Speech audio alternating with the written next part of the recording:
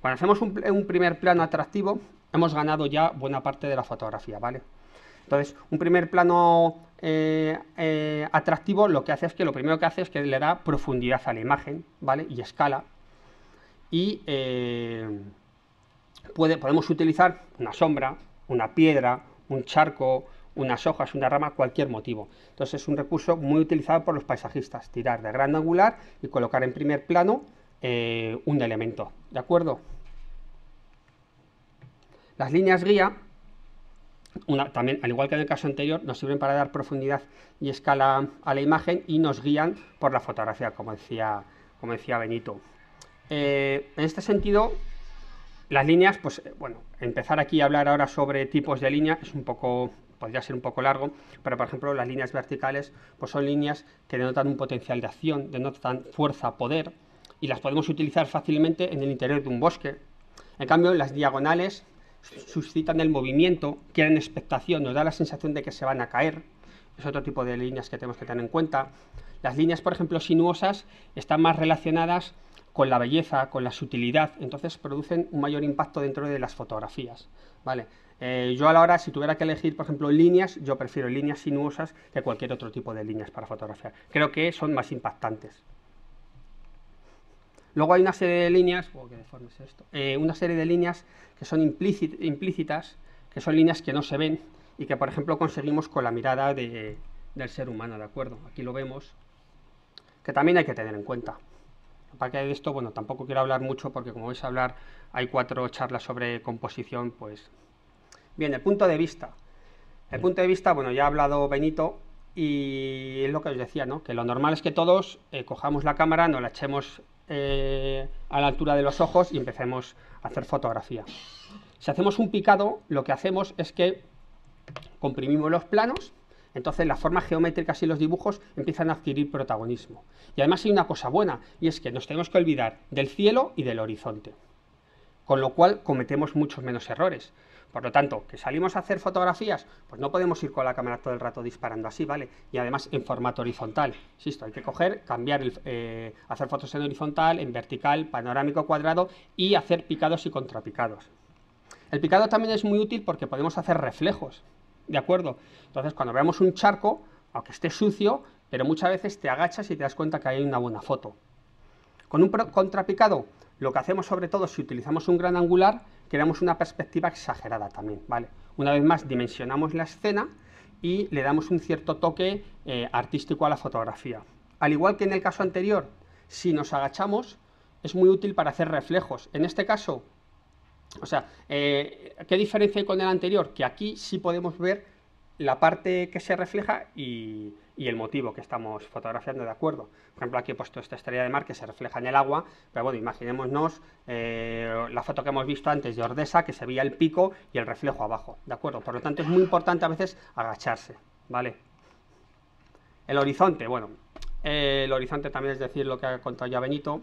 bueno, si aplicamos la regla de los tercios, pues eh, ya sabemos todo en qué consiste. Entonces, eh, otro recurso que hay es cuando situamos el horizonte, perdón, cuando situamos, sí, el horizonte en medio. Entonces, claro, cuando, creamos, cuando situamos el horizonte en medio, lo que hacemos es que creamos dos mitades enfrentadas.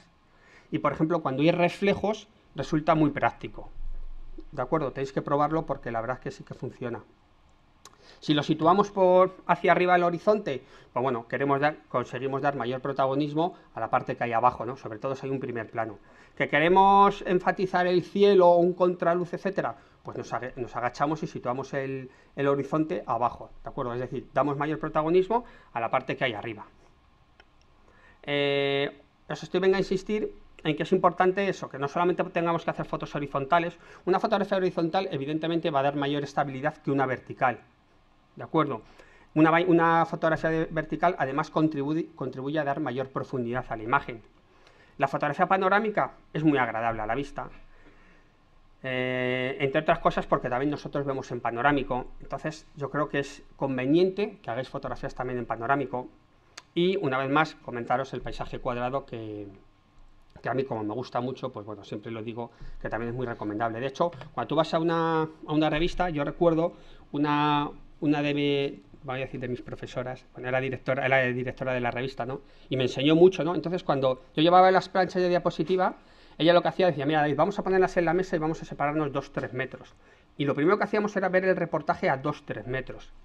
¿De acuerdo? Entonces ella empezaba a ver si yo había hecho fotos horizontales, si había hecho fotos verticales, si había variedad de luces, de colores. ¿De acuerdo? Soy directores de arte que lo hacen, es decir, que no necesitan coger la diapositiva, o sea, la hoja de, diapositivas y ponerse a mirar. Digo hoja de diapositivas, imaginaros ahora un pantallazo con 20 fotos en digital.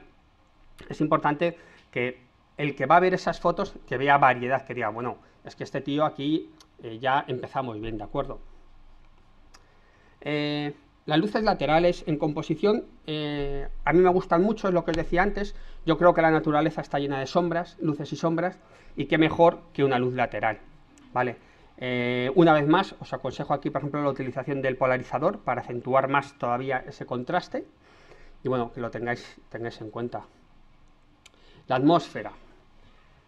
Eh, la atmósfera evidentemente realza mucho nuestras fotografías, o sea, conseguir captar la atmósfera en una, en una imagen eh, puede ser fruto de la casualidad. Podemos ir a un sitio, podemos ir con el coche y de repente vemos un mar de nubes, vemos que hay bruma, etcétera, y hacemos la fotografía.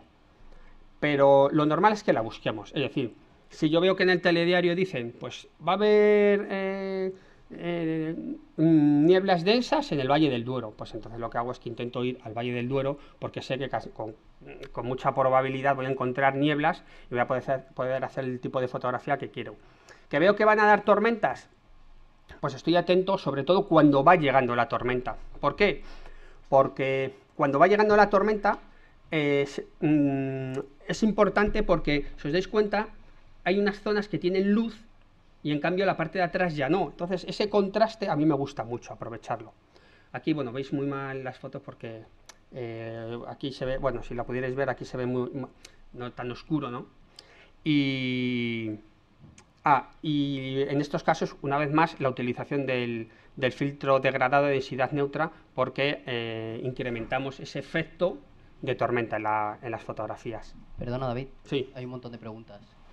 Eh, Víctor Belmonte Vicente eh, preguntaba que si podías volver a explicar el tema de los dos filtros cuando estabas en, en, condiciones donde había agua en el ambiente y decía también que, que si tenías problemas de condensación al poner dos filtros juntos en esas condiciones. No, no tengo problemas de condensación y lo que hago es, eh, tengo un portafiltros, en el portafiltros que tengo puedes poner tres filtros, si no me equivoco, o cuatro filtros, ya no me acuerdo. Eh, mm, bueno, digo que no me acuerdo porque lo que hago es que, claro, si tú pones todos los, todos los filtros, es decir, si tú tienes el portafiltros, en función del objetivo que utilices os puede viñetear. Lo que tenéis que hacer es coger los tornillitos que hay detrás, los aflojáis y una parte de delante la paséis atrás. Eso se puede hacer. O sea, si probáis a hacerlo, es muy sencillito. Tenemos un portafiltros. Entonces, si tú quitas los tornillos, los cuatro tornillos, que a veces que se pierde el tornillo porque se aflojan y tal, entonces si tú lo quitas, desmontas todo. Entonces puedes tener delante un para poner un portafiltros, dos, tres o cuatro. ¿De acuerdo? Pues yo lo que hago es que eh, me parece que lo normal es que tenga, si, utilizo el 1635, pongo dos para que pueda poner dos portafiltros. De esa forma, el resto del portafiltro no me va a viñetear, ¿lo entendéis? ¿O me explico muy mal? ¿Me explico mal? Sí, vale. Entonces, eh, bueno, en ese caso, supongamos que yo tenga para dos filtros, ¿vale? Entonces yo pongo, eh, luego lo veréis en un caso, ¿no? Por ejemplo, pongo el filtro inverso, porque quiero que la cascada, la parte de arriba, me quede un poco anaranjada. Y delante pongo otro filtro, ¿De acuerdo? Entonces yo tengo que calcular, bueno, yo cuando, os quiero decir una cosa, cuando yo utilizo los filtros, mido sin filtros. Es lo que hago yo. Cada uno ya luego, pues no sé qué sistema utilizará, ¿vale? Pero yo lo que hago es que mido sin filtros y luego cuando coloco los filtros lo tengo en cuenta. Entonces a base de hacer fotos, pues ya aprendes un poco eh, eh, qué cantidad de luz tienes que abrir, ¿vale? Bien, entonces coloco el filtro y luego coloco otro filtro de densidad neutra, por ejemplo, ¿vale? Muy bien, entonces tú estás ahí en las cataratas de donde sea una cascada y entonces de repente llega el agua, llega, llega una corriente de aire, llega un montón de agua, que es lo normal, y ¡bum! te aparece el arco iris reflejado en el agua, ¿vale? En ese momento es que, es que te calas, o sea, es que literalmente te calas. Entonces, claro, se va a mojar la cámara, eh, la podemos cubrir con un, pues bueno, con las fundas que ha dicho Benito. Hay unas fundas de plástico que te venden ahora que no sé, cuestan dos euros así, que vienen muy bien, que no ocupan nada, a diferencia de esta, de esta otra funda. Entonces yo tengo la funda buena y esta otra, y, la buena la dejo en casa y me llevo esto porque no ocupa nada. Y metes ahí la cámara y va perfecto. Y, y, bueno, entonces se empieza a mojar el filtro de delante, pero al de detrás, como están muy juntos, no le cae prácticamente agua. ¿De acuerdo? Entonces lo que hago es, lo quito y disparo, pa, pa, pa, y empieza a limpiarlo. Y así. Entonces por lo menos hay una, dos, tres fotos que las hago bien. Vale. Eh, Paco J. Muñoz pregunta que si en montaña utilizas algún filtro de ultravioleta.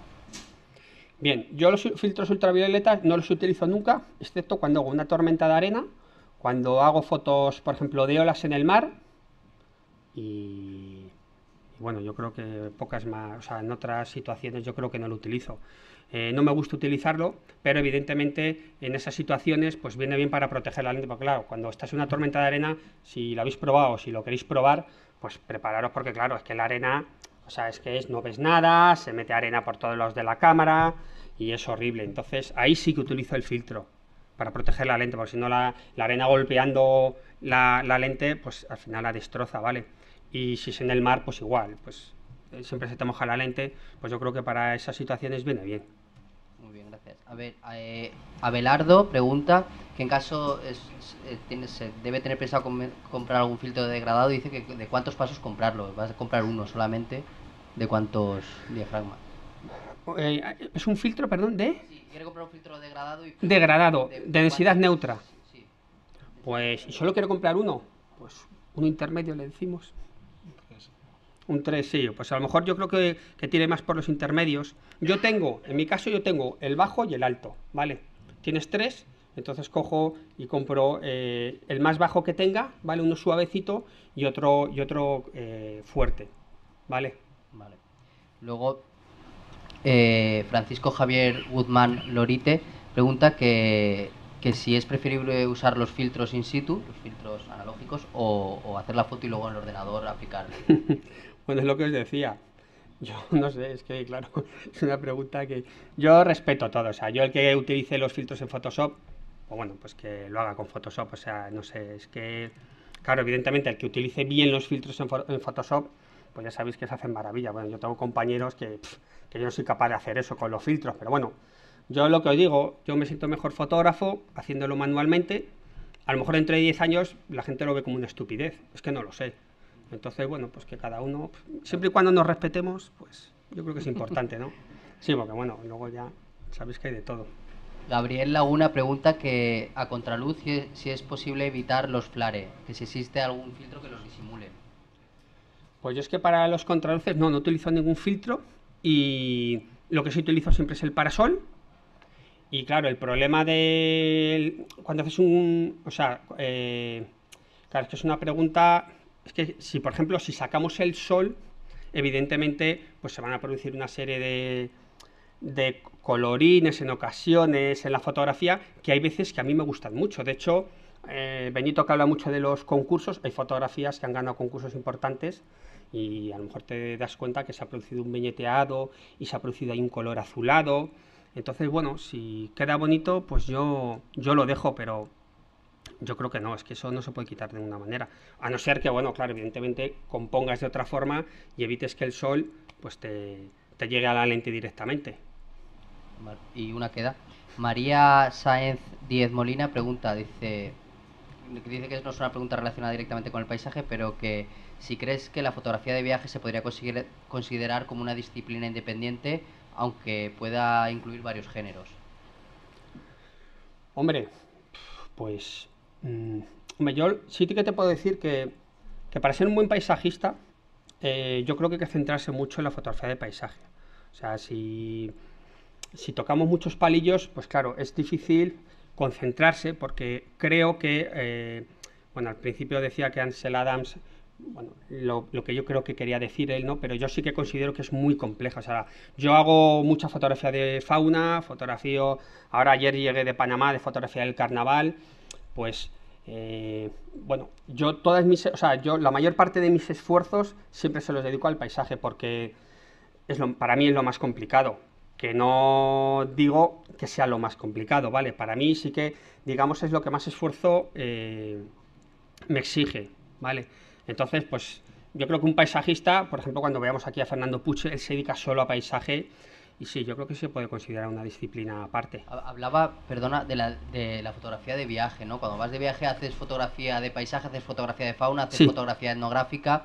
Si, si realmente crees que, que la fotografía de, de, viaje se ah. podría considerar como una sola disciplina o realmente dividirla en todas Pues que cuando haces fotografía de viajes yo hago... Eh, Ahora he fotografiado el carnaval, he fotografiado a las Mises, un reportaje de Mises. He ido a hacer fotografías de monos. He hecho fotografías del canal de Panamá, he hecho fotos de, aves. ¿Qué haces? Claro, tal variedad de fotografías porque es lo que me exige la revista. O sea, yo tengo que presentar un reportaje sobre Panamá y claro, si hago el carnaval, pues tiene que salir el carnaval, tienen que salir las mises, cómo se maquilla, cómo se visten, insisto, y otras cosas que, la gente pueda ver en, el, en, Panamá. Entonces, claro, es que, es que son tan, es que tratas, al final haces fotos de todo. Entonces yo creo que es un poco complicado. ¿eh? Vale, gracias.